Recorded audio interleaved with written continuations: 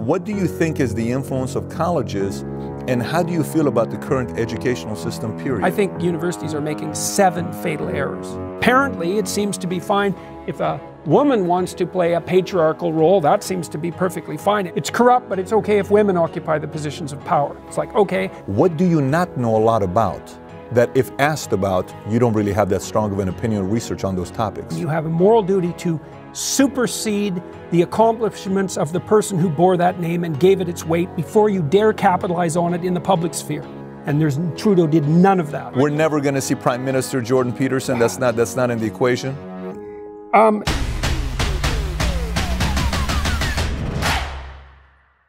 so look, we get a lot of guests on Valuetainment, but one of the most highly requested guests ever by you on Valuetainment has been Dr. Jordan Peterson, clinical psychologist, professor at University of Toronto, as well as the author of 12 Rules for Life.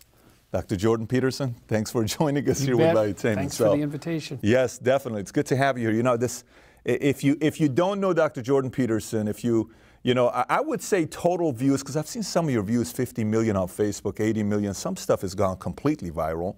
I'd say total a billion views, give or take, maybe even more than that with your content that's on YouTube, Facebook, all over the place. People now know the name Dr. Jordan Peterson. And the part I want to spend some time uh, talking to you about today is a couple things. One, obviously, a lot of people who interview you, they're going to talk to you about politics, religion, God, postmodernism, all of these things. And maybe we'll get into some of that stuff. But what I'm very curious about with you is the following one is who Jordan Peterson was growing up, right? I mean, you read the stories about at 13 years old, you were given a book and you started studying some of, I think, Ayn Rand, George Orwell, and some of these books that were given to you. And then from there, you have other inspirations that came up. And I think at one point at Harvard, you were studying drugs and alcohol and the addiction reasoning. Why do we get addicted? And then you become who you become and you have some strong opinions. But I want to know who you were in high school. If I was in high school today with you, we're in 10th grade, we're classmates, I'm sitting next to you, we're good friends. Who's Jordan Peterson? Um, well, first, I'm not very tall. So I was younger than most of the people in my class because I skipped grade one. Okay. so I, I was five foot two in grade 10. Really? So, yeah, yeah, yeah. And so uh, I suppose that made me a little bit more agile verbally than I might have otherwise been. Most of my friends were working class guys. Most of them quit school in junior high and, and early in high school. Most of the friends that I had in high school were very comical people. I had four very close friends from a little tiny town, even north of where I grew up, and there was almost nothing north of where I grew up. Uh, they were extremely comical people, and so we told jokes to each other all the time, tried to amuse each other. I spent a lot of time driving around on the country, listening to music, drinking beer with my friends out in the bush. In high school? Yeah. That's great. So well, beer, beer yeah. helps to think the way you think right now, I guess. That's well, the recipe. It's um, long winters in northern Alberta you know, and not not a tremendous amount to do. And well, it's not atypical teenage behavior. That was me in high school. I read all the time. I oh, you did. So you yeah, were reading yeah. all the time. Yeah, yeah. I read a book a day for years. Are you kidding me? No, most of it was science fiction. I had a neighbor across the street who had a huge science fiction collection, a whole wall, and he used to let me come in there once a week or so, and I'd pick like seven or eight books and take them home and read them, and then I'd come back and get another eight. I read science fiction like that.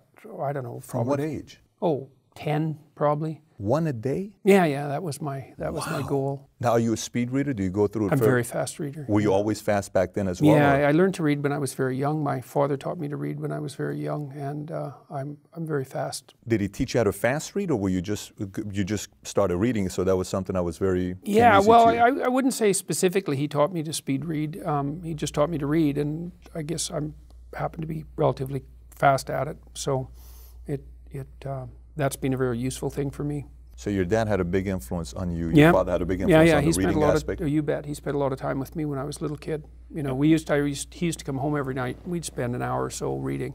He had designed this. He was a teacher.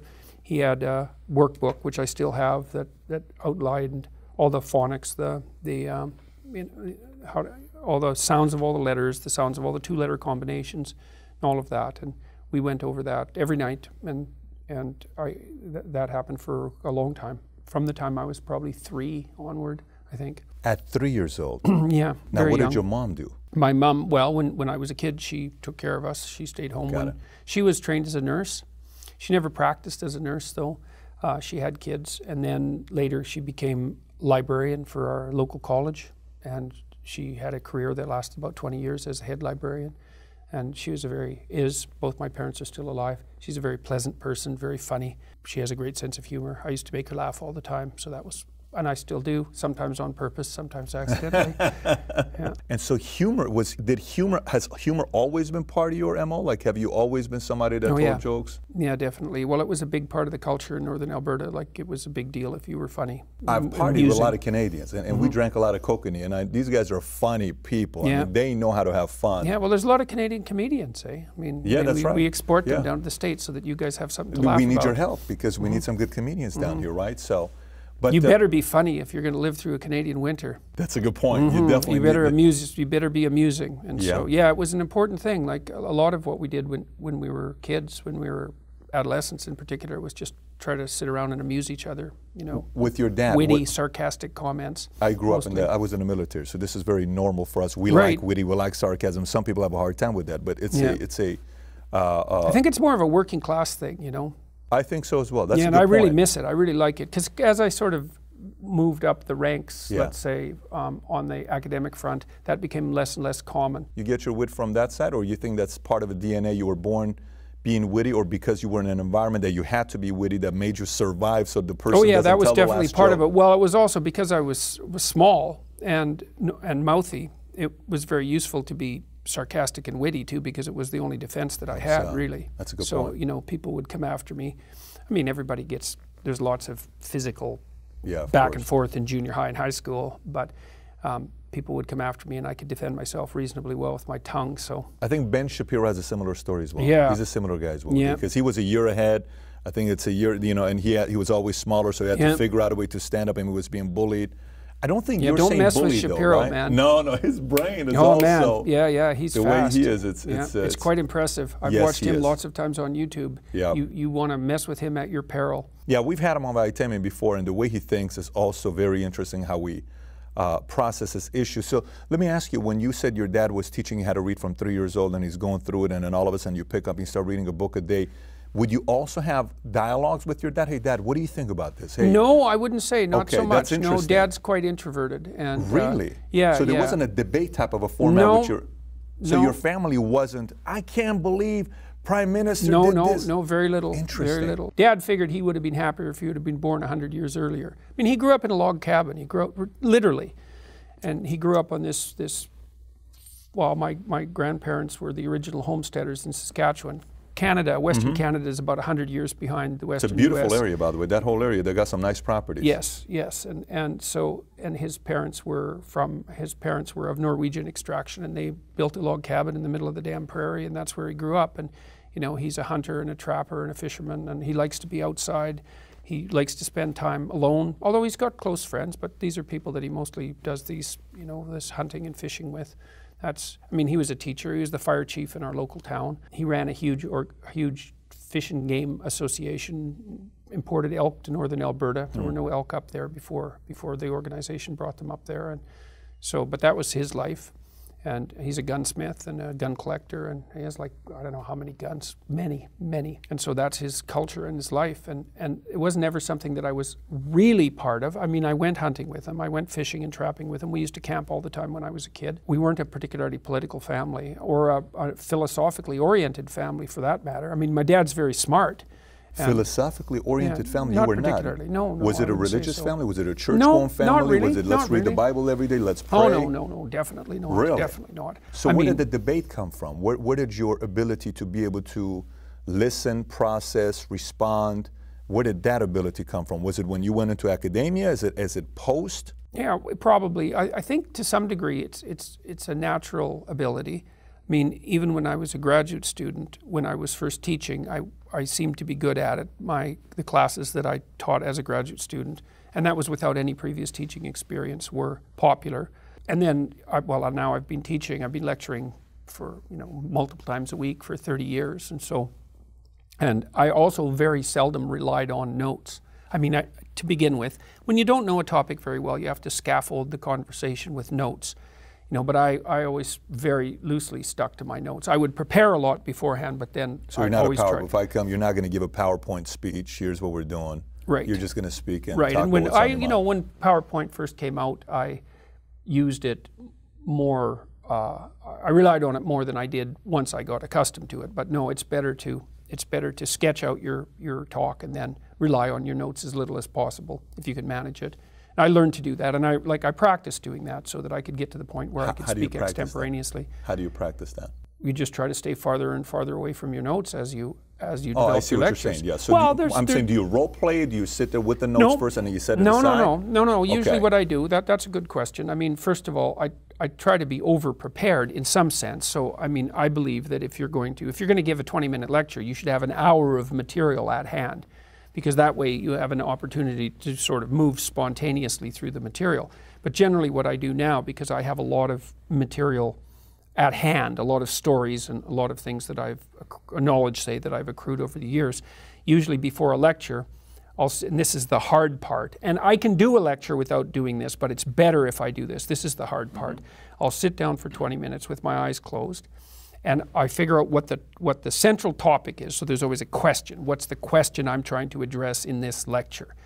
and then I'll figure out a pathway through it. It's like, okay, well, here's the argument, here's point one, here's point two, here's point three, and there's possible branches off those.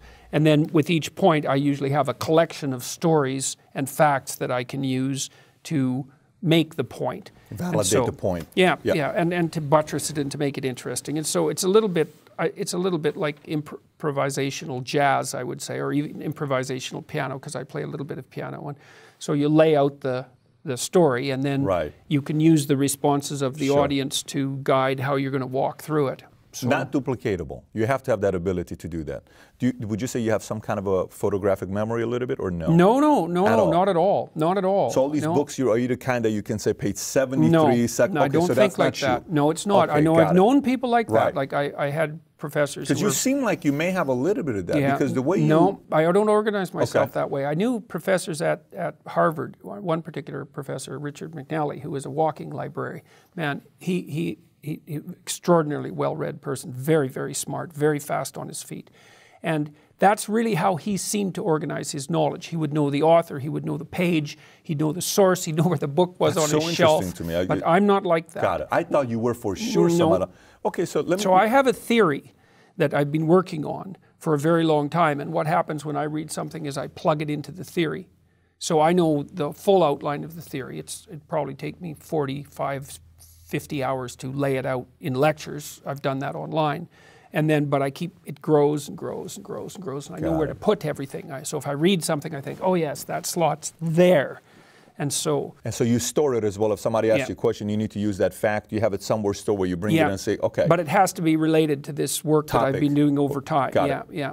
Got so it's kind of like there, there, there's this technique called memory castle that people have used for centuries to remember things. And so what you do is you you you you sit and you you imagine a might be a place that you know, like a lit, a geographic place, a house. And then you can place the things that you remember. Imagine you walk through the house. You can place the things that you want to remember at different locations in the house. Mm-hmm. But you have to you have to turn what you're remembering into an image. And then you can walk through the house and, and you can lift things up and find what it is that you're trying to remember. I sort of do that with this theory. It's like it's it's been.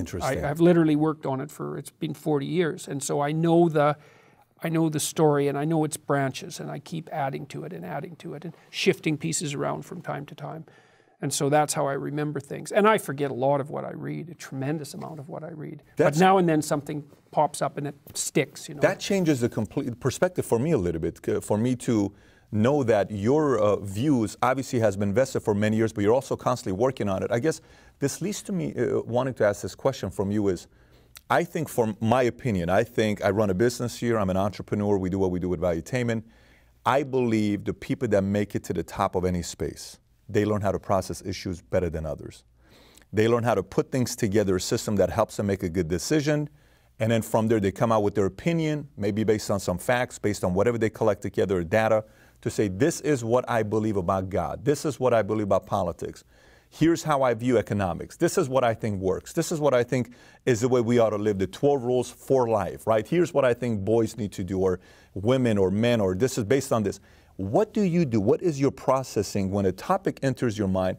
How are you taking the next necessary step to come up with an answer or a belief that you're very comfortable saying, This is what I believe in. I know one of the questions you don't like to be asked is, Do you believe in God? And your response is phenomenal because you said, One, I don't know what believe means to you, and I don't know what God means to you because the word believe in God may be a different meaning to me. So that's a very interesting answer to give. But how do you process issues here when a new topic comes out to you? Kavanaugh comes out.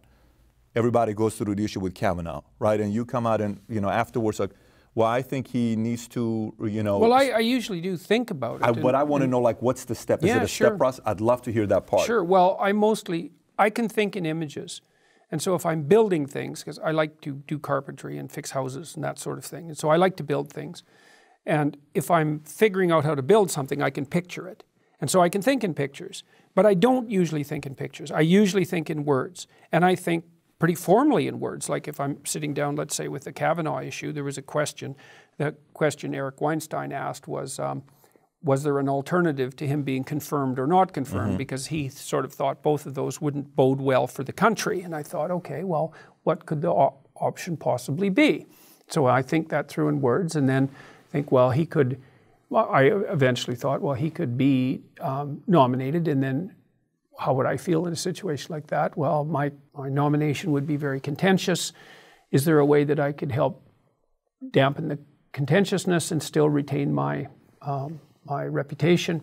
Thought, well, you could be nominated and resign. What would be the advantages to that? And then I lay out one side of the argument, and then I lay out the other and another and another, and, and have an argument and like an in, With inside- yourself. Oh, absolutely. That's what you're oh, doing. Oh, absolutely. Got it. Yeah, basically what you do, and this is really what you do when you think, is you, you know, if, if thinking is an internalized conversation, mm-hmm. which at least is one form of thinking, is that you spin off avatars of yourself and you say, well, you take this position and you take this position and you take this position, and then you have each fictional part of yourself lay out the argument and, and argue it through. So, for example, when I write, so that's another thing that I've done a lot of to prepare for my lectures. You know, I've written, well, I've written two books, and one of them took 15 years. I wrote three hours a day for 15 years every day. That was the first book. That's a Maps of technical book. It's a very oh yes, it's a very book. hard book. Yes. That. So, so I laid out I laid out that argument, but the, the way I did it was well. First of all, you generate your ideas. Okay. That's the first part. There's actually a technical process that goes along with this. I, I use a computer in a particular way. So imagine I've laid out an essay. Okay. Well, then what I'll do is I, I usually use two screens. I take a paragraph out, Mm-hmm. put it on the other screen, break it into sentences. Okay. So I put spaces between all the sentences. Got it. Then I look and see if the sentences are organized properly, if that if that's the proper order. Try to reconstruct them so that they, that, that, that they make more sense, they flow better. Then I take each sentence one at a time and try to write a better version of the sentence, maybe three or four times. And every time I try to write a better version of the sentence, I try to think of all the ways that sentence is wrong and could be fixed. So at the level of the word, at the level of the phrase, at the level That of the sentence. technical. Oh, you bet. Like for Maps of Meaning, the first book, I probably wrote every sentence in that book 50 times. Are you oh, kidding Oh no, me? absolutely. And then, well, there's more. So then, so then I'll, I'll take put the paragraph back together, and if it's better than the original paragraph, then I'll put it in. So then I have a replacement for it. But then also imagine it's a chapter. Well, then the chapter has a structure. So I'll outline the structure. So this is real helpful too if you're writing a chapter. It's like, well, uh, um, boil it down to 10 sentences. So you've Boil written a chapter down to Yeah, 10 sentences. Yeah, you go to chapter, write a 10 sentence outline. And that forces you to condense what you wrote. And with 10 sentences, you can see the argument. So Does that argument make sense? Then you can cut and paste the paragraphs from the essay back into that structure. And if you do that three or four times, then you have a very, very tight argument. I have a writing guide on my website at jordanbpeterson.com under products. It's free. It's, it's, it's just a Word document, but it outlines how to do this. Imagine if you're writing, so here, here's what you have to get right if you're writing. The whole argument has to make sense as a whole. Okay, you can think rather unclearly and still make an argument that works as a whole. Sometimes I read essays written by intuitive students, and the essay works as a whole. Like there's a good idea in it, mm-hmm. but it's very badly written, but there's an idea there. So it sort of succeeds at the highest level. But then if, if something's written real well, it's every word is the right word, every phrase is the right phrase. The phrases are put into sentences properly, the sentences are organized into paragraphs properly. And you have to edit at every one of That's those why levels. I said piano. So you it has to be like if one, you know, pianist listen to another person play Yeah. and one is off, they catch it, right? Yeah, a regular right. person's not going to catch it. Yeah. So you're you're going to that level Yeah. of perfection. Well, then I also read everything out loud. Do you seek perfection in that in that area? No, but I, what I seek, I wouldn't say I seek perfection. What I seek is that I can't do it any better. So I know a book is done when I can't write it any better. ability. Yeah, that's right. I, I max my ability out. So if I can't, and uh, if I if I'm at the point where when I'm starting to edit, I'm I'm not sure if it's better, then it's time to quit. Interesting. And I also often, if I'm writing, like I'll write something and then wait, like you have to wait a couple of weeks to look at it again because often when you're writing and you reread it, you read what you think you wrote because you're still you still have the ideas in your head that, that are part of the cloud of ideas. And it's not until you forget the context in some sense that you can actually see what you wrote. And so there has to be pauses in your writing as well. Do, do you have a method for turning off all the noise? I mean, you have a family, you have kids, so is there, and you, you have oh, things Oh, yeah, that you do. I So what is is your method. method for turning off oh, all the oh, noise? I'm like a junkyard dog, man. It's like don't come in and bother me when I'm writing. And like it's been hard, somewhat hard on my family, particularly on my wife, because you know, like I said, I, I from 1985 to, to to 1999, I wrote three hours a day, and the rule was, don't bother me when I'm writing. Like leave me alone. And the reason for that would be, you know, I'd I'd be working on something, and I'd have like half an hour of thoughts in my head stacked up to make an argument, and then someone would interrupt me, and I'd lose all of it. It's like that's no good. And so I got, uh, well, I have a mental image. It's like there's barbed wire. It's a barbed wire do you ever lose junkyard, and and I'm a junkyard dog. Do you ever lose it and it doesn't come back, or you lose Oh, it? Oh, definitely. Oh, for so sure. are you a mad scientist type or no? yeah. So okay, so you do uh, get frustrated, get you know uh, uh, upset. and You you have that side as well. Oh, definitely. Okay. So do you get along with yourself typically? Like, uh, do you know, you know what I'm talking when I say you get along with yourself? Like, you know, sometimes I'm, you know, I enjoy driving. I enjoy my own company at times. Yeah. Like, I'm a guy that for me, therapy is going to the movies by myself at 10 o'clock in the morning. Telling my assistant, I got to do something. I come back with popcorn all over my shirt. That to me is therapy. And believe it or not, I think in movies. But do you get along with Jordan Peterson yourself? Like, do you have battles internally when you're battling a topic or an issue or a theory? Oh, I have battles with myself all the time. That's what thinking is, you know. Like, uh, see, people think that thinking is you encounter something and thoughts appear in your head and those are your thoughts. It's like that's you're just barely getting started at that point because you have to take those thoughts and then you have to critically assess them. And that's really that's where the thinking starts. And that's based on what? That's based on experiences, that's based on data, that's based on research, that's based on influence from a friend or a professor to say. John, what do you of think about? What else would you, is it also based on the fact that you're not being lazy about the fact that you're willing to put the additional minutes that you get into a topic to say, I'm going to read a little bit more about this topic, and then is there the idea with conflict? Would you say Well, some of it is some of it, and, and I also outlined this to some degree in this writing guide that I that I mentioned. Is like, well, the first question might be, well, why write or why make an argument? And the answer is, well, if you're writing to figure out what you think, then you're going to use what you think to guide your action, and the consequence of that is going to be how your life turns out. So I'm dead serious about what I write because because I know what the pathway is. It's like you don't you don't communicate in a false manner because if you do, you will warp the structure that guides your actions, and you will absolutely, absolutely, 100% suffer for that. I mean, one of the things I've learned as a clinical psychologist is that I've never seen anyone. It's really a terrifying thing. I've never seen anyone get away with anything, ever it, the chickens always come home to roost. So, and sometimes it might, you know, let's say you get away with something. It's like, yeah, you think so, man. You wait five years from now, seven years from now, it'll come back. is that karma? It's more like, yes, I think it's the same idea, but it's more like you, you can't, you, you, you don't have the power to manipulate reality. Like you have the power to bring about reality Sure. in some sense because you confront potential and through your actions and, and, and your communicative intent, you turn potential into reality. But you don't have the, you don't have the power to bend reality without it snapping You don't back think at so? you. Mm. You don't think so? So you don't think visionaries and influencers have the ability to bend reality? No, I don't think they bend it. I, I think that they, they, they, I mean, you can bring new things into being, but you can't you can't get away with a falsehood. Hmm. No, you can definitely bring new things into being. You can't get away with a falsehood. yes, that's it. And Maybe, so- okay, makes sense. and and you can't get away with weak thinking either, because I mean any more than you can get away with improper action. It just doesn't work. So you're you're contending. It's it's why I mean one of the themes in my writing is the danger of falsehood, and at any at every level. It's like well, if you tell the truth to the degree that you can, or at least don't lie. That I think that's rule eight. Um, then you have reality on your side. You got to decide, man. You want reality on your side, or do you want reality against you? Now, I wouldn't recommend the whole reality against you thing because you're not going to win. You're going to get flattened. And so I'm very careful with what I say and I'm very careful with what I write. Like I try to, if I write something down, it's not an opinion. I mean, obviously it is because it's my my thought. Sure. But it's it's I, I try to take those sentences and beat them to death. I'm trying only to leave on the paper things I cannot get under and flip over.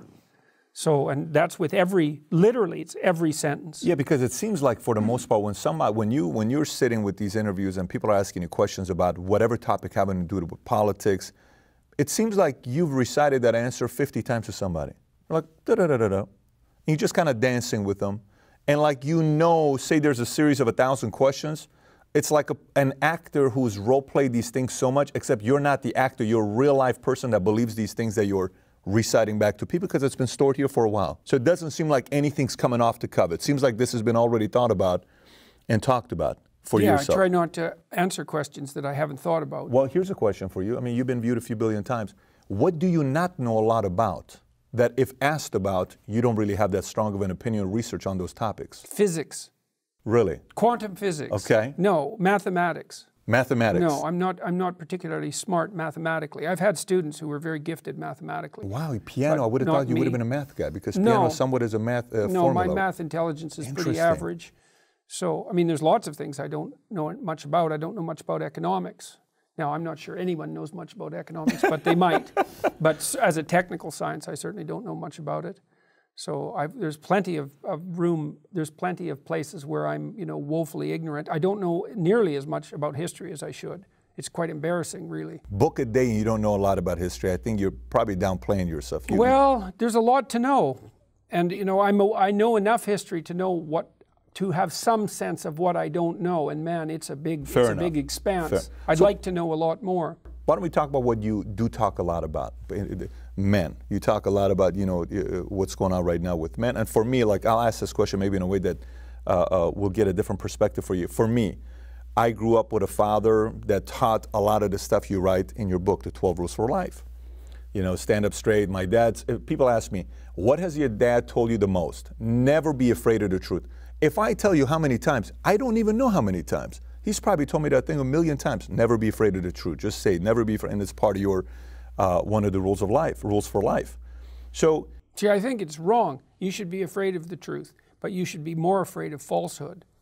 See, and I mean, I mean, that's no criticism of your dad's advice, but people are afraid of the truth because often, if you reveal it, it causes conflict in the moment. all day long. Oh, oh yes, all, all day long. Oh, But sometimes they don't even want to know it. Oh, very often. Sometimes Very- it's very scary to even know about it. Yeah, otherwise it's trivial. But life is boring if we don't pursue that side. right? I mean, what do you do if you go living not wanting to pursue the truth? To me, it's kind of like, what is the purpose if we're not at least trying to test our own beliefs to see if we are thinking right or not? If we're not thinking right, what the hell is the purpose of this life? Then we're just got 80 years to be here and be gone. We may as well have a little bit of Yes, friction well, to try to figure it telling out. Telling the truth is definitely an adventure.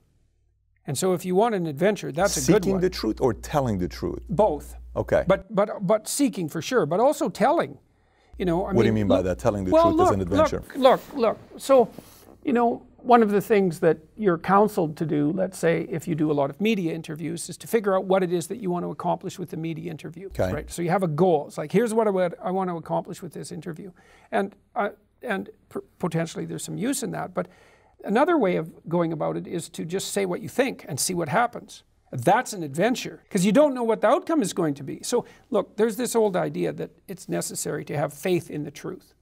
And so here's, here's a way of thinking about that. Someone asks you a question, and you might think, well, here's the outcome I want, and so here's how I'm going to answer that question.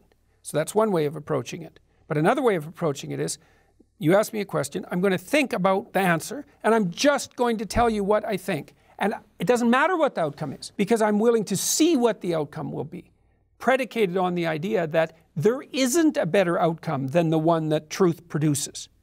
Even if it's harsh and terrible in the, in the short term, and sometimes it is, it's like there isn't a better way of doing it. Now, you might say, well, how do you know that? And the answer is, well, I don't know that. That's why it's an article of faith, because I believe and, and, and, I believe this deeply, the being that you produce as a consequence of telling the truth is good by definition. But, so you're, you're, even though it's harsh and, and often uncomfortable, because you get in trouble. Yes, but your faith to me seems very mathematical. Like when I, when, I, when I see your answers about your faith, like you say, I choose to believe that there is a God, but I don't know. So it's a very logical answer you're given. Right? I said act as if God exists. Act as if God right, exists. Which is a good definition of belief as yeah, far as sure. I'm concerned. Yeah, you know, believing in something you have not yet seen, right? You see the well, definition. Well, it's what you stake yourself on. Right. You know, like you think, well, how do you know if you believe something? Well, the answer is you stake your life on it. That's how you know. And, and that's something, I suppose, to the degree that I've been able to, I've staked my life on. It's like, well, do I believe it? Well, it depends on what you mean. I'm, I'm acting it out. I'm putting myself on the line. So that seems to be a reasonable definition of belief. You know, if someone says, you know, do you think there's a God in heaven? It's like, well, I don't know how to answer that question because I don't know exactly what you mean. That's what I'm saying. The logical part to me is more honest. I, I think the logical side of it is more of an honest way of looking at it, saying it's a bet. I don't know.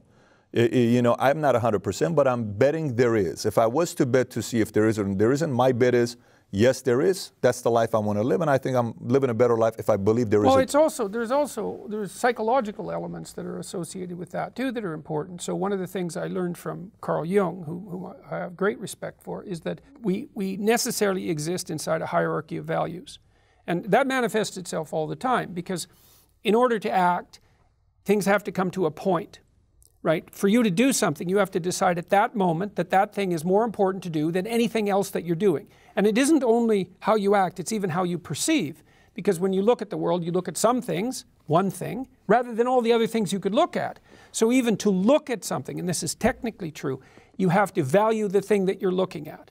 Okay, so you're always using values to interact with the world, perceptually and in terms of action. Now, those values are organized. Otherwise, you're a chaotic mess. So they're organized. There's some consistency in what you do. Right? There's a narrative driving it. That's another way of looking at it. it. Means you exist inside a value hierarchy. Some things are more important than others. Some of the things that are important to you are even more important than other things that are important to, to other people. Yes, well, to you, sure. to other yeah. people, period. Right. But you're pointing towards something. Now, you might be fragmented and pointing to a bunch of contradictory things, mm-hmm. but that's not helpful. Let's assume that you're a reasonably integrated person. Okay. And so you're, you're pursuing you're pursuing something of value. It's at the top of your hierarchy. Functionally speaking, whatever that is at the top of your hierarchy, that's God for you. And you might say, well, I don't believe in God. It's like, well, yeah, but you still have, you either Something have. that's a, your God. You have an ultimate value sure. that performs the function that a deity would perform. I agree with that. Yeah. I agree with that. Let me, let me ask this question. Do you think a lot of men today struggle with that? But maybe even not even men, men and women today, because, you know, there's a lot of different movements that you see. So it's almost like, uh, you know, there was a band back in the days in the night. They're still around. They perform in Vegas. They're called Boyz II Men, right? We're going from boys to men. We are now men, and you know, life has changed for us. I think we're going from men to boys at times today. You know, sometimes guys are feeling bad about being too manly. Like, here's a man's man. Oh my gosh, he's a man's man. That's not how you're supposed to be. You don't have any empathy or feelings for other people. And then sometimes on the other side is, you know, you're not bossy enough. You're not this enough. Do you think there is a identity crisis right now for both men and women that they don't really know what position do I need to be to be a real man or a real woman? You think well, there's some think of that going on? I think let's start with the male part of that. I, so I think that right now our society is criticizing itself there, that, that's part of, let's call it patriarchy theory. And the idea is the hierarchies that are characteristic of our society are male dominated and predicated on power and tyranny. Okay, so I don't buy that. I think that any hierarchical structure can degenerate into tyranny, but I think that most of the hierarchical structures in the West are about as good as hierarchical structures ever get. And if you think we can do without hierarchical structures, then you don't know what you're talking about because you can't organize your perception without a hierarchical structure, and you can't organize people in terms of pursuing a valuable goal. You can't even say that a goal is valuable without producing a hierarchy. So there's no getting rid of hierarchies. Now, then you can say, well, yeah, but the hierarchy is based on power and it's corrupt. And I don't think that's true in the West, although hierarchies can become corrupt.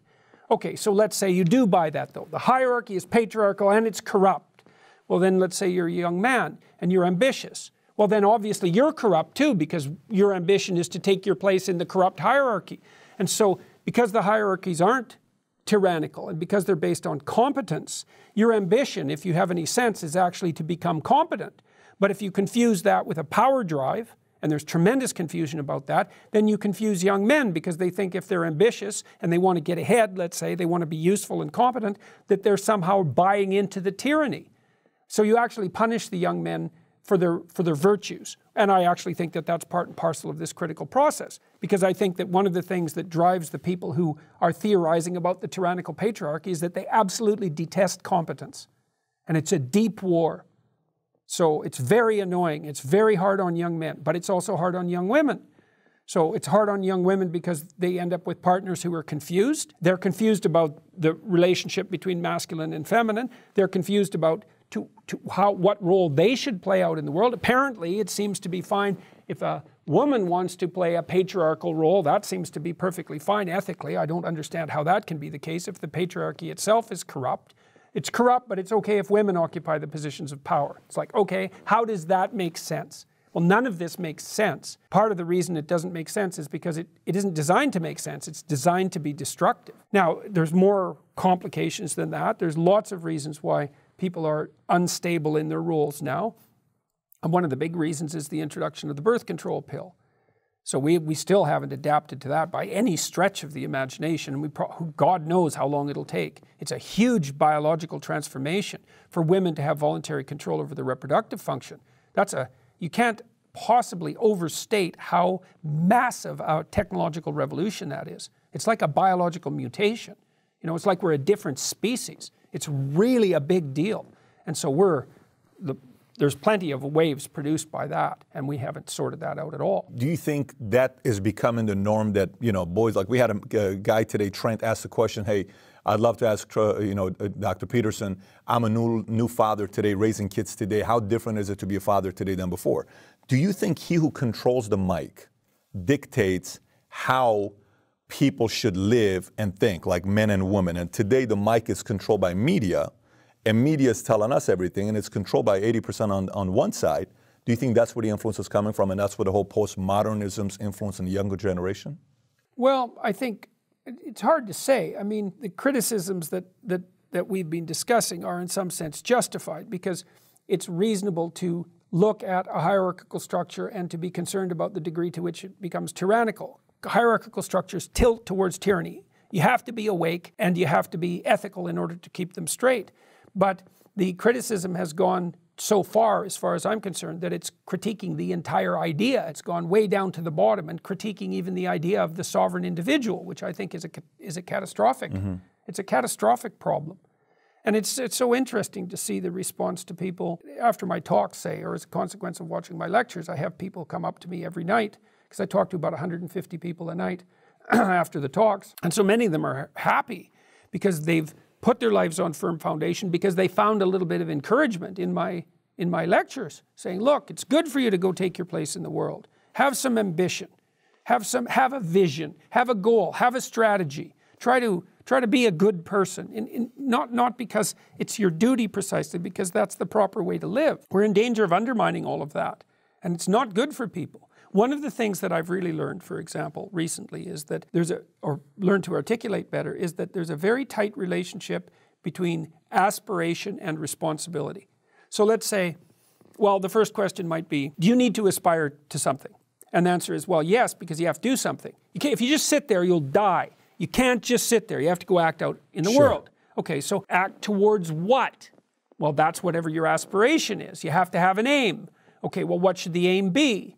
Well, it should be something worth doing, let's say. Why do something that you don't feel is worth doing? What do you think's worth doing? Well, if you watch other people and, and you judge when they're doing something worthwhile, you usually judge them positively if you see that they're taking responsibility, at least for themselves. What do you want to be completely useless so other people have to take care of you? That's pretty pathetic. And maybe you could get your act together so you're taking care of yourself and your family.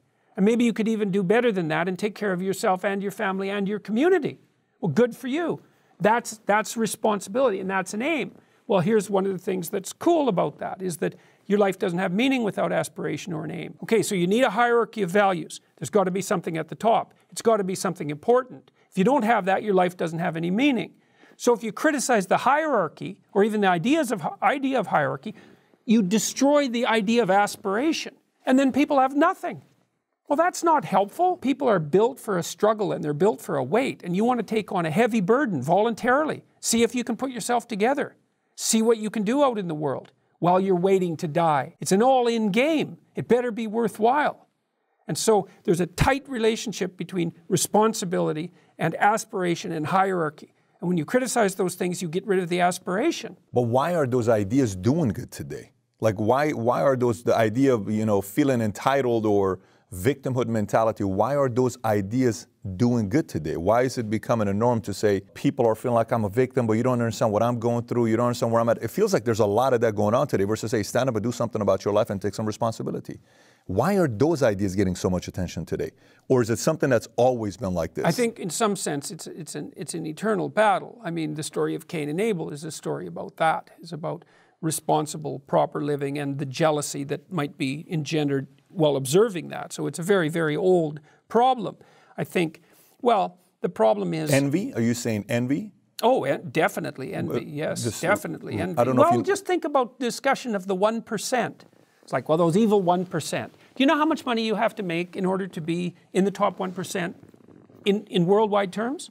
Oh, worldwide yeah, terms, yeah, it's a because, lower well, number. we don't. We're not. Fifty-three thousand dollars a year. It's thirty-two. Thirty-two thousand. We make, did a video on that. Yeah, thirty-two thousand. If you make thirty-two thousand dollars a year, you're in the top one percent. Yes. So it's like, well, where? Why do you draw the boundaries so that the top one percent are people that aren't you?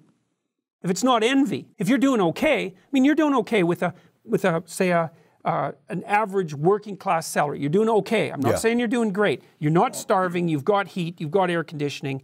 You've, you've got access to electronic technology. You've got some ability to move forward into the future. So you're doing all right. And by historical standards, you're doing damn fine. So why all of a sudden is the 1% that you're envious of only those people who are richer than you? When you're also part of the 1% worldwide, if that's not envy. So I know how, who the rich is. The rich is always someone who has more money than me. That's who the rich is. I don't put myself in that category, you know, especially if I'm pursuing this victim mentality. And then the other part of the victim mentality is well, you know, let's say you can have a meaningful life by adopting responsibility, but it's a heavy load. You got to be awake and alert and on your feet and moving towards something difficult. You have to have some self control and you have to sacrifice in the present so that the future is better. It's complex. You have to integrate a lot. And when you take on some responsibility, your life has meaning. You think, I want a meaningful life. It's like, maybe you do, if you're willing to take on the responsibility. What's the alternative? Well, to garner a lot of unearned sympathy for your victimization position and to at the same time take down the people who are willing to take more responsibility than you. It's a nasty game. And I see it played out in the universities too. I think if you quadrupled the salaries of sociologists, that most political correctness would go away. I think they're jealous and envious because they see people who aren't any smarter than them doing way better out there in the capitalist world. And that drives their envy and their hatred even though they're unbelievably privileged in their positions as, let's say, sociology professors or social work professors or people who are on the faculties of education, all disciplines that have become incredibly corrupt. Envy. Those are two things right there, then. Then we're talking media and we're talking about educational system. And the influence of the media and the educational system, 80% is on the left. Well, right? the media is a complicated, more complicated thing, I, I think, because I think what's happening in the mainstream media is that it's falling apart as a consequence of technological transformation. And as it's doing so, it's polarizing. You know, like, well, look, newspapers are having a hard time making sure. any money, right? We, we all know that. And of course, cable TV networks are losing all their viewers to things, things like YouTube, fault of people like you. And so they're starting to disintegrate. Well, when you start to disintegrate, you get more desperate. And when you get more desperate, well, then you have to attract attention however you can. And I think what we're seeing in the mainstream media is increasing focus on polarizing figures because that drives the remaining audience to view. And so I think a lot of that's being driven by the underlying technological transformations. So media solving for views rather than the truth, that's yeah. what you're saying. Yeah. Okay. Yeah. So how do you feel about the media yourself when you when you think about the media? Well, I have mixed feelings about it. I mean, I've been treated very well by some journalists. You know, there's a handful of Canadian journalists in particular. I, I, actually think they're the best journalists in Canada. And I don't. I hope that isn't mere personal bias. Who've taken a careful look at what I've been doing and saying and have been very supportive of me. The Postmedia Group in Canada, it's an aggregation of 200 newspapers, came out publicly in support of my stance on free speech a year and a half ago, and at some cost to them because it was very contentious at that point. So that's been that's been good. And of course, the media, so to speak, has also enabled me to bring what I know or purport to know to a very broad audience. And so that's, that's a very positive thing. I've had very, very stressful interactions with many, many journalists. It's certainly been the most stressful part of my life over the last two years. And some of it was absolutely reprehensible. Some of the journalists, MSNBC News, appalling, appalling and amateurish. So both at the same time is a bad combination. Um, Vice, another pit of snakes as far as I'm concerned. People who interviewed me and then chopped up the interview to make it look as bad as they possibly could. And that was all laid out by other people on YouTube who spliced back the original interviews and you know put out what I actually CNN. said. What do you think about CNN? I, uh, CNN I've had absolutely no contact with personally. Ever. I don't pay attention to them. Fox. Um, Fox, the Fox people have treated me very well. Look, I don't pay a lot. For I, I asked watched, this question for one. Here's the reason why I'm asking this question for because so I'll sit with people and, and on the left and the right. We've had Gloria Allred, Jerry Springer, but we've had Prager, Shapiro, McAfee in the middle, Ron Paul. So you got two left, two right, in the middle, weird. I mean, we got them all, right? Yep, we, yep. we, because I'm trying to get clear for myself philosophically and, and uh, politically to see if there's some clarity. As an entrepreneur, what are some of the things we ought to pay attention to? Sometimes entrepreneurs you're so independent. It's like, hey, listen, just leave me alone. Don't bother me. For the most part, most entrepreneurs are libertarian esque mm-hmm. type of philosophies, for most part, because just let me get to work. I'm going to make my money. I'm going to create jobs. I don't want to get anybody else into my business. Having said that, I hear Republicans complain about the fact that, well, you know, 80% of media is controlled by the left you know, and look what they own. They own New York Times, they own Washington Post, they own, you know, they own this and they own that and they own this. And look what they just did to Alex Jones. They just banned them. A hundred different websites banned them. PayPal just banned them. What's this guy gonna do? Why can't he get up there and go out there and say what's on his mind? And it's all the liberal media's fault, right? I hear that. Then on the complete opposite side, I say, wait a minute. Time magazine was just bought by the founder of Salesforce.com for $350 million. You mean to tell me somebody on the right couldn't have bought Time Magazine for $350 million? How much influence does it have? So when I hear that part on the conservative side, the right side, Republicans calling the left snowflakes, I see the other side that sometimes conservatives, Republicans, if you're calling them snowflakes, why don't you go also and compete and buy some media and create some media for yourself? There aren't any social media platforms that are pretty much owned by somebody on the right or conservative. So that's why I asked the question from you saying, you know, what do you think about media? Is it majority controlled on the other side? And why aren't the Republicans or the people on the right doing something about it? Where at least 50 50, media is 50 50, where I can get up and say, you know what? I agree. I disagree. They're full of it. These guys are full of it, but I have an opinion. Mm-hmm. Versus 80% tells me to go look one side. Well, I think part of it, the argument that the large scale social media providers were politically biased in some important sense has only existed for about three or four years in any real sense. Right? It's really expanded, I would say, since the election That's of Trump. owned by le- the left? Yeah, yeah. I mean, I don't think people necessarily thought five years ago that Facebook and Google were primarily left, at least to the degree that they're accused of as being now. Well, Silicon Valley, for the most yes, part, outside of Peter Thiel, would be left. If you yeah. think about Silicon Valley, the only person that you got to be worried about is right, Peter but how Thiel. long? How long has that really been a contentious issue? Like Google has only been a, a company that people had had mixed opinions about for about two years. Like people were pretty happy well, about let's, Let, us say a handful of years. Yeah, okay. But nothing, okay. nothing to the point well, where it's so, at right now. I agree with okay, you. Say so post-Trump. well, I think partly but if the, you think about CNN, you know, MSNBC, Washington Times, New York Times, yeah, some of that is, is purely. That's true. Sure. But to some degree, that was balanced by Fox News. I think part of the reason that there One aren't one channel against well, I know. Well, look, yeah. fair enough. But to some degree, it yeah. was balanced. I think part of the reason that there aren't more conservative social media platforms is because it wasn't obvious until relatively recently that that was a necessity. Now, but I, I still think your point is well taken. If the conservatives want to do something about um, the the hypothetically liberal bias of the large scale social media companies, then they're free to go out and do something about it. But I don't think they've I don't think they've considered that a problem for for that many you don't years think they yet. have? You don't think they've seen that as a problem? Well, for I how see long them do you think?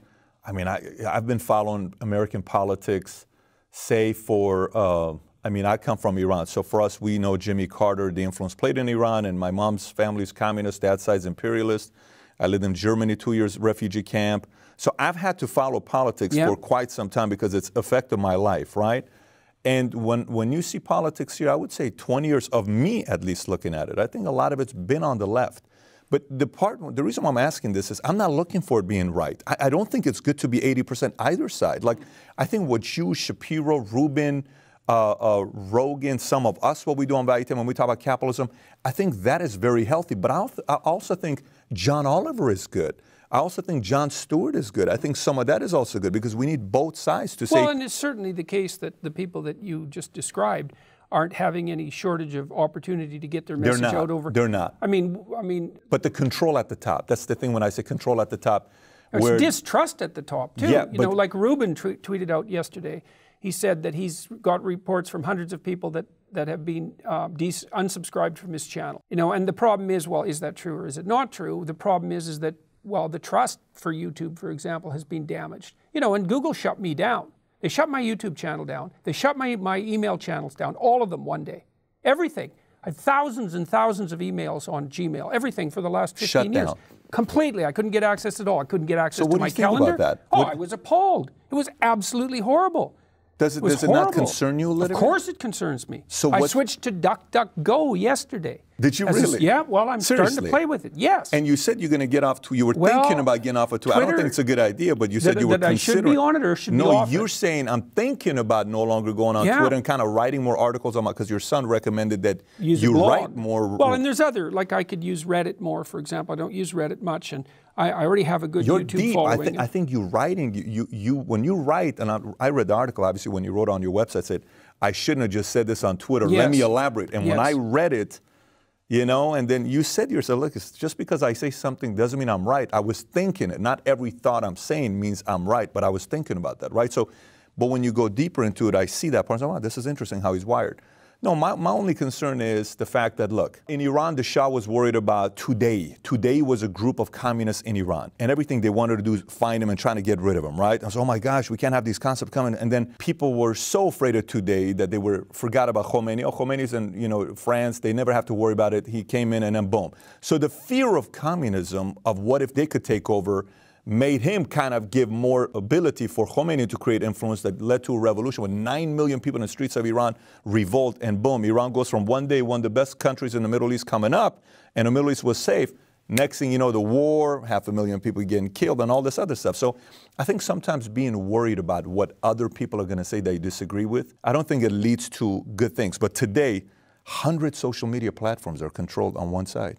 That's a scary thought, mm-hmm. Jordan. Mm-hmm. If all of a sudden capitalism becomes a curse word and anybody uses capitalism, hey, you know, I actually see things in the U.S. balanced quite nicely. You know, I mean, there is tremendous control on the say left-leaning end of things in academia and in, in the classic mainstream media, but you know the, the electoral process seems to have balanced that out quite nicely because the Republicans. I agree. yeah, so I agree like with uh, you. the American system seems to work I pretty damn agree well. with you. Absolutely. It'll be really interesting to see what happens in November's elections. American system works well. However, this is the one part that I think we have to realize that, uh, you know, Ron Paul started social media influence on politics. Ron Paul raised, I think, $6 million in 2004 on MySpace in 24 hours. In 24 hours, he raised 6 million. Everybody's like, Obama was like, what? This guy raised $6 million in 24 hours on my, and he's how old? I'm, I'm young, I'm cool, I'm handsome. I'm gonna raise billions. And then he took social media and he raised, and he's a two term president. And then Trump, you take uh, Jack Dorsey's Twitter out, I don't know if Trump's president today. So Trump learned how to use Twitter to his advantage. Now that everybody knows the power of social media, the concern now becomes everyone knows what you need to do if you want to be a president two years from now or six years from now, right? You know if you play the game of social media, whoever's got the big following. So now the people at the top who control these social media platforms are more powerful than some governments are. So this is why when you say the electoral college, you know, the system works, it works today, mm-hmm. but you know that doesn't we have necessarily no, mean Well, we have no idea how all this technological transformation will, will destabilize and transform things going into the future. That's what I I'm mean, saying. part of the reason that I'm going on this tour, for example, and talking to people about individual responsibility is that I see this, like everyone does, this unbelievably rapid process of technological transformation approaching us. I think, well, we better be wise enough to handle it because we can't predict it, right? So to the degree that we have character flaws that could be rectified, the, the, consequences those are going to be magnified by our increased technological power. So I'm hoping that everybody can try to get their act together a little bit more carefully. And, and that's, that's also been extraordinarily fun in this, like the, the lecture. So I've been in 85 cities since March. That's amazing. And, and, yeah, since it is, it's been it's unbelievable. Yes, and I've been fortunate because I've had lots of good people helping me make sure this works, and it has worked so far. But it's really quite, it's very heartening because all these every night I talk to about 2,000 people. Not every night, but like four nights out of four nights in a week. As far as I can tell, they're all primarily coming there because they want to put their house together from a psychological perspective. They're interested in developing a vision for their life and taking on responsibility. And I have dozens of people every night who who have told me that over the last couple of years, their lives have been transformed. They've gone from a bad place, you know, where they were really lost and nihilistic. They've decided that they were going to do something with their life. You know, I had I tweeted out something today that some kid kid wrote me. He said, two years ago, he didn't have any friends. He didn't he didn't have an intimate relationship. He didn't know where he was going in his life. He didn't have a job. Like he was just, you know, nothing was going for him. And he's doing a philosophy degree. He's in his second year. He has a good job. He's got a girlfriend. He's got friends that care for him. It's like he's put his life right wow. together.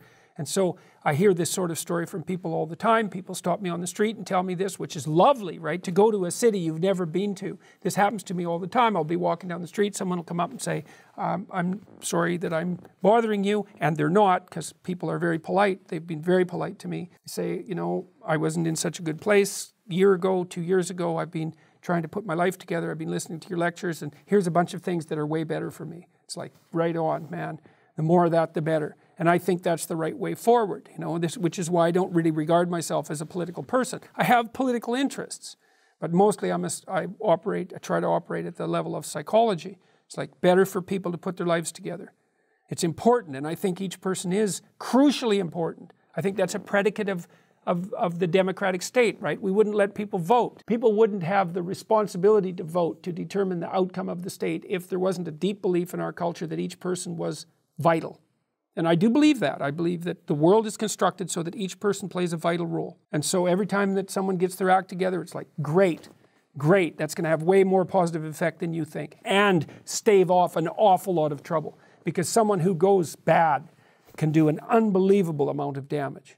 So even just not yeah. going bad is a good thing. So you know sometimes you, you read these uh, you know articles or videos. America's more divided than it's ever been before, and then you read some research and it says you know it's actually not the truth. America's more united than we've ever been before. It's a better place than it's ever been before. I know you're a Canadian looking in, but you're going also speaking everywhere. 85 places you speak since March. That's a mm-hmm. lot of people you're shaking hands with that you're yeah. talking to, and the 150 people that stick around afterwards that you're having a dialogue. This is more info you have here than the average human being. Mm-hmm.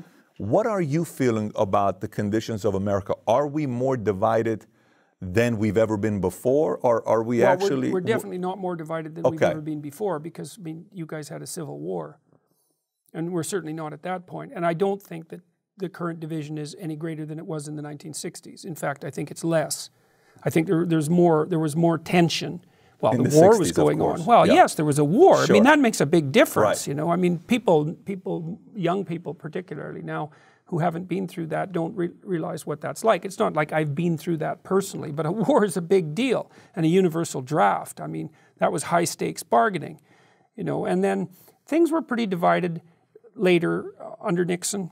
That was the mm-hmm. end of mm-hmm. the 60s. Mm-hmm. And then they were divided again under Reagan there were huge scale protests under Reagan, and the Cold War had really heated up, and everyone was afraid that we were going to push the nuclear button. And so there was plenty of division then. Even in, in my lifetime, I've seen times when I think that your country, the United States, was more divided than it is now. There is a fair bit of polarization now. I know that if you look at how what's happened to political attitudes, the, the typical Democrat has moved farther to the left over the last 20 years. The Republicans haven't moved that much. They're still relatively, the median Republican is still relatively close to the center. But I think a lot of the polarization is actually being driven by the death of the mainstream media. Like, you know, you always want to look at what the consequence of a technological transformation is. And this is a big transformation. You know, there used to be flagship media sources that were basically attempting to give a balanced picture, and I think they did a pretty good job 30 years ago. Time magazine, even the mainstream news programs, they, they, they, they had a professionalism that was associated with their journalism that had some degree of objectivity, and that's fragmented. And, and it's fragmenting because there's all these media sources, like mm. innumerable media sources. And so it's, it's driving people who are trying to get attention to desperation, and they, they exaggerate the polarity. And so that puts everyone on edge. And Twitter puts people on edge. Like, and this is part of the reason I'd thought about, I'm still thinking about what to do with Twitter. Maybe I should not use it for a month. Because Twitter, I think, my experience with Twitter is that I'm wandering around in the world and everything's fine. The streets are peaceful. The people I meet are every the people I meet are doing well. That your cities I've been to, I don't know how many American cities in the last four months, like 40 or 50. They look great. You know, I mean, the, everywhere I go, there's construction and and the, the country feels like it's moving. How does one person that's watching the news, and that's where the news they get from, uh, they, they consume news through m- media. I'm watching CNN, Fox, MSNBC, whatever. Yeah. How do I tell apart between the truth and propaganda? Well, I don't know. I mean, when I counsel my clinical clients who are depressed or anxious, one of the things I've always told them to do over the last few decades is to disconnect themselves from the news. This was before the social media. And you still believe that today? Well, I hadn't. See, you asked me about CNN earlier. Like, I haven't watched mainstream television news since like 1985. You got to be kidding. No, I'm not kidding. Let me get this straight. I want to hear you say this one more time. You haven't watched mainstream media since 1985? No, very little. I didn't have a TV. I didn't have a TV since 19, about 1985. When's the last time you watched CNN? Probably in an airport for a few minutes. I virtually never watch CNN. So if I come, come to your place, I know you have some interesting collection of art that yeah. you collect, but if I come to your place, your TV's not going to be on CNN. There's no TV. There's no TV in your I house. haven't had a TV since 1985. I realized back in 1985 that news wasn't news. If it, if it was only news for a day, it wasn't important. So I read magazines. You know, I've read I read Harper's, or I'm not at the moment. Harper's, Atlantic Monthly, uh, The Economist. Those were my, my basic sources wow. for news. Now that's changed, you see, because I got tangled up so badly in scandal two years ago that I've been on top of, especially social media, like an obsessed addict for two years, trying to manage it you know, but it's not clear to me that that's been a good thing for like. Well, I've, I've got to for your sanity or well, for. It's it's certainly I don't think Twitter is a good thing for my sanity. Twitter is so contentious. It's so. I mean, if you want a daily dose of hate, you can get it in ten minutes on Twitter. You know, if I post something, you know, there's there's uh, there's a number of comments about whatever I posted, and one out of four of them is brutally rude and obnoxious as nasty as it can possibly be. And that's very, very common. And like, you know, people are quite sensitive to negative information. We're more sensitive to negative information than we are to positive information. And, and so, and I'm not complaining. I don't have to use Twitter. It's a completely voluntary choice. And I'm certainly a massive beneficiary of the existence of social media. So I'm not complaining about it. Mm-hmm. I don't mm-hmm. have a right to complain about it. But it exists in absolute contrast to my experiences in the world. Like, it's not like I'm walking down the street and one person out of four jumps out of an alley and like curses me, I haven't had a single negative interaction with an individual. That's not true. I met one really drunk woman in, in, um, in Dublin, and she called me a wanker. she was quite the piece of work, though. Was it with after, a little timid husband by her side? Was it after Conor lost? Maybe she was pissed off because maybe the maybe UFC she was. Fight. But but I've had thousands of interactions with individual people on the street, let's say, in airports and so forth, in the last six months, and every single one of them has been overwhelmingly wow. positive. Uh, so that's reality. Then I go into Twitter and it's like, oh my God, it's just brutal. brutal. Does it really bother you though? Do you really get uh, bothered? And listen, uh, all of us, you know, no one likes negative comments. Like right before this, Mario's sitting, I'm preparing my notes, and Mario's like, look at the three negative comments we got today. I'm like, Mario, I'm doing an interview. You're yeah. sitting here telling me. So so obviously, before doing some like this, but does it does it bother you a little bit when you read those negative? Oh, comments? definitely. Really? Oh, definitely. Well, look, when, when, when I was when I was still working as a professor, I'm, I'm on unpaid leave at the moment. Um, you know, I'd get my my feedback from my students, and my feedback has been generally extraordinarily positive. So maybe there'll be 50 comments from students, Right. and three of them will be negative, something like that, or two, and and often quite nasty, the negative ones. And uh, you remember the negative ones, and th- that is what people are like. We're much more sensitive to negative, and that the reason for that is negative things can kill you.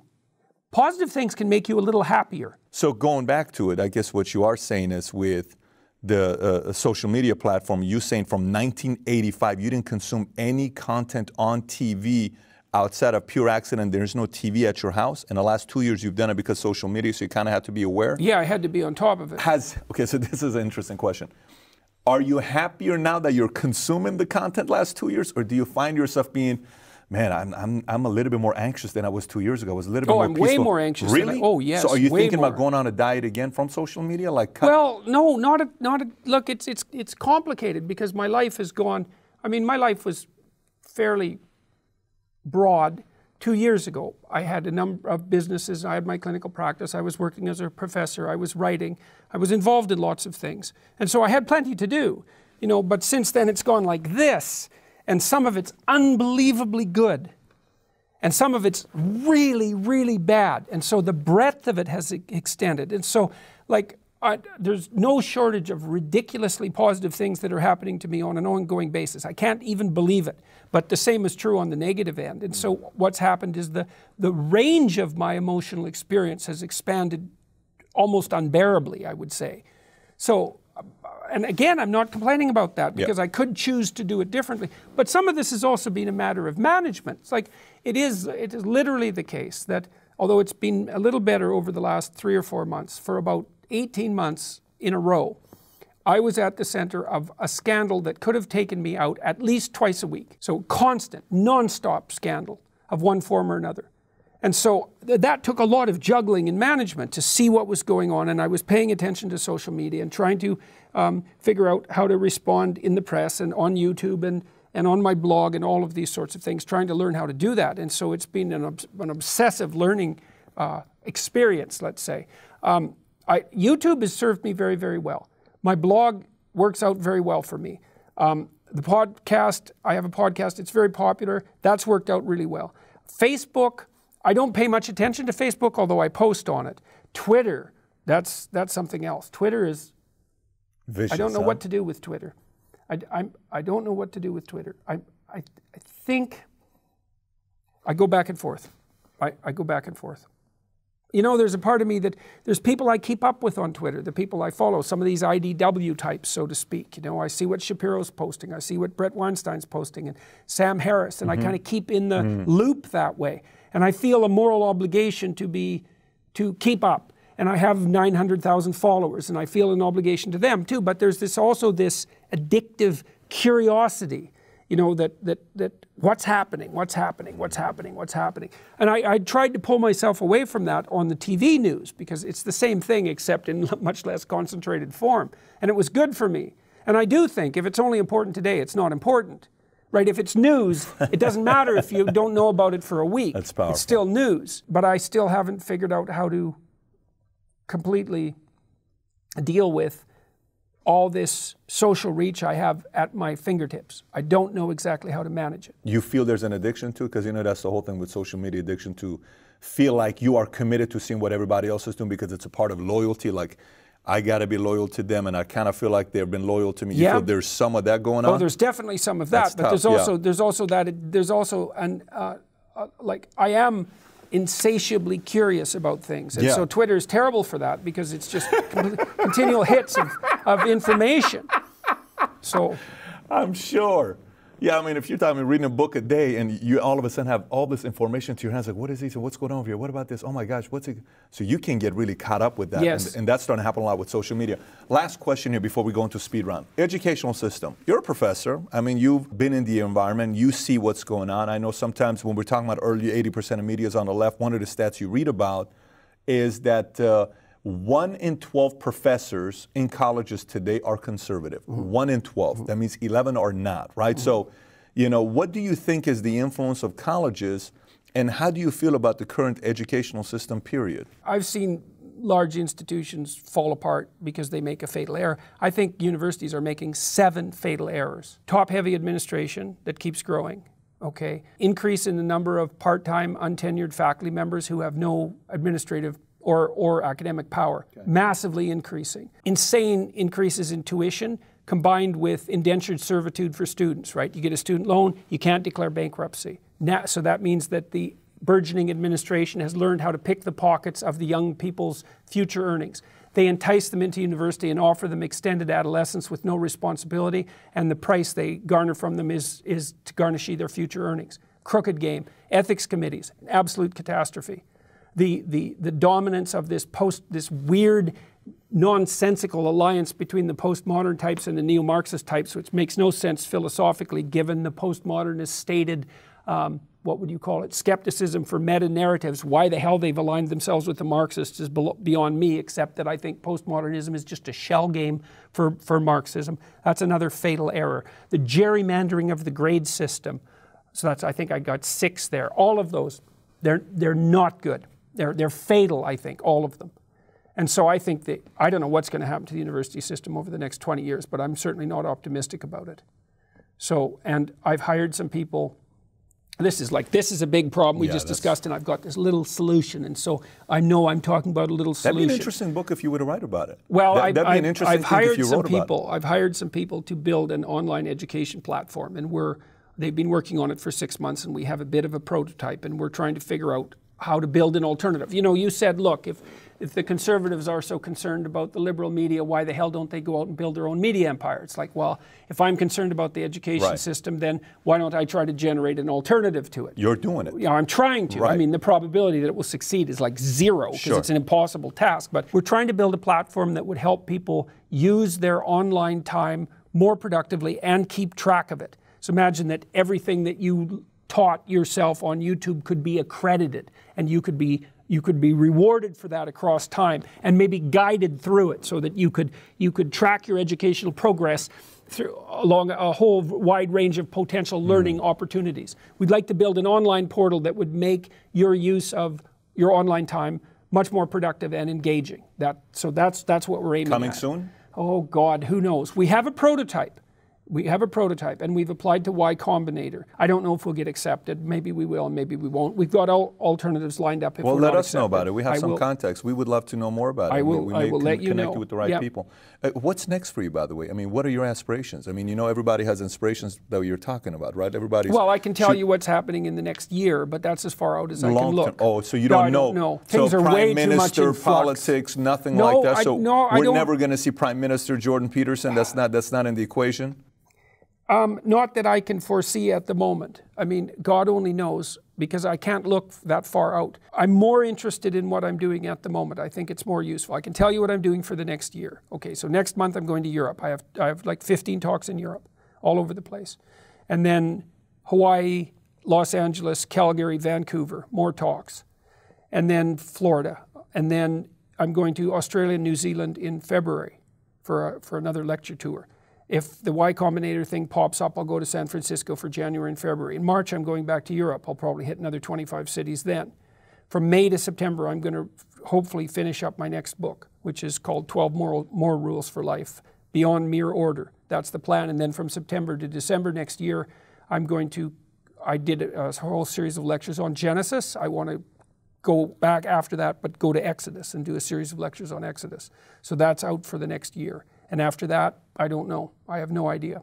That's plenty of planning for. That's for plenty how, of planning next Well, for months. how fluid and crazy things are right now, that's that, if I get through all that, that'll be a miracle. I, I think if you were to start a, university or online university or somewhere to educate thinking, processing, decision-making process, I think that would that would that wouldn't just be something that'll do well in the states here. That'll be worldwide on well, how we, that we, we also want to build modules. We've been trying to figure out how to do this, is to teach people to read, to teach them to think, to teach them to speak and present, to teach them to negotiate. So part very of it aligned with what we're thinking. It's so weird, like the stuff he's saying.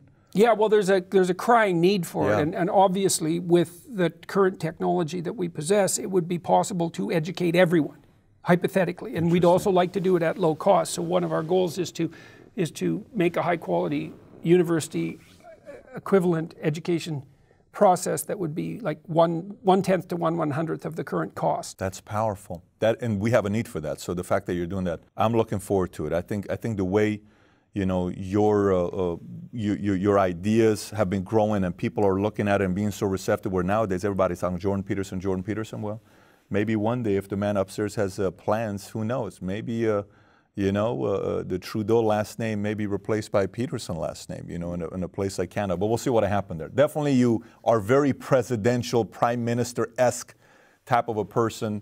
And uh, you're, you're good with fashion as well. You know how to put it together, so you're very fashionable. Anyway, so let's do speed round. Let's do speed round. I'll say some things. A name of a person, just tell me the first thing that comes to your mind. All okay, right. whatever it may be. All right. Drake. Male duck. Male duck. Okay. Kanye West. King of the IDW. That's Dave Rubin's joke. Really? Okay. Mm-hmm. Trump. Anomaly. Trudeau. Justin Trudeau. Um, That I just shake my head at that. Okay. V- Oh, man who capitalized without virtue on the name of his father. Wow. Yes, wow is right. Wow. If he had an ounce of character, he would have never run. I'm not happy about him. he had no right. Well, he had a right. He's a citizen. He can run. He didn't earn his name. Not impressed. Why do you say that? Is this specific? or- Because his father was very famous. Sure. And so that put Trudeau at a tremendous advantage with regards to moving into a leadership position in Canada. It's not excusable. You should move ahead on your own merits, especially if you're daring to do something like run a country. You have a moral duty, if you have the advantage of a name, you have a moral duty to supersede the accomplishments of the person who bore that name and gave it its weight before you dare capitalize on it in the public sphere. And there's Trudeau did none of that. He can he knows how to behave, he knows how to act in public. He had the upbringing for it. Other than that, there's nothing there, not that I can see. And if there was, he wouldn't have run the way he did.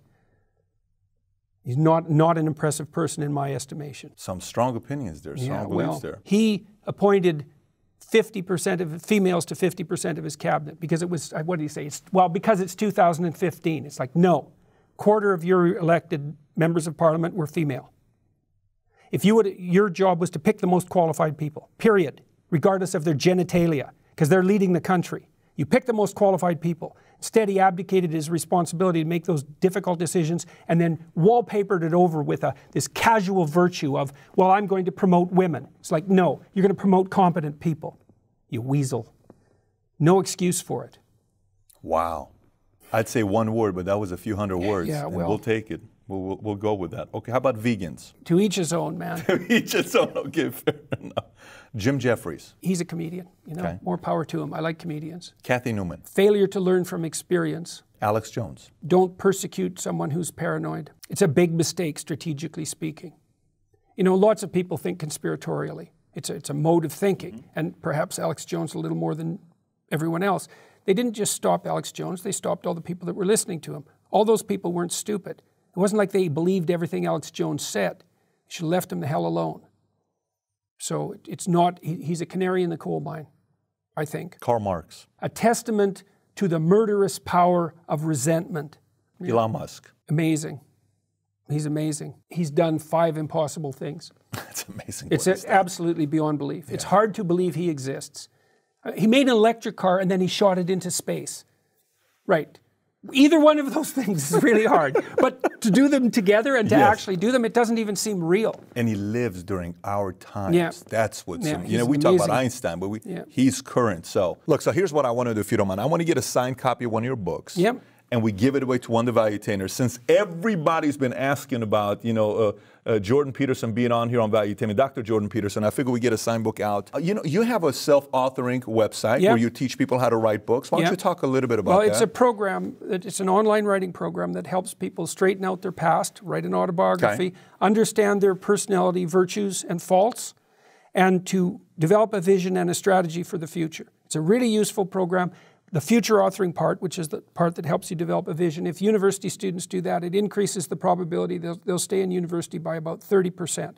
And we've done that with thousands of people. And so if you're trying to get your act together, this is an excellent way to sit down and have a discussion with yourself about what's important, where you've been So in your life, and what's questions I'm important. asking myself. Yep. Wow. It, it breaks Okay. down the process of planning your life. And I'm really curious because the way you were explaining it earlier. So uh, this program is uh, 29 bucks. You said earlier. Yeah, that's right. And you get all three programs, and Okay. you get an extra one for a friend. How about we get So, a code uh, that we put on there that they can P- get it? let's use PBD. PBD they can get a 20% discount. Okay, so here's Yep. what we're going to do. This is what I want you to do.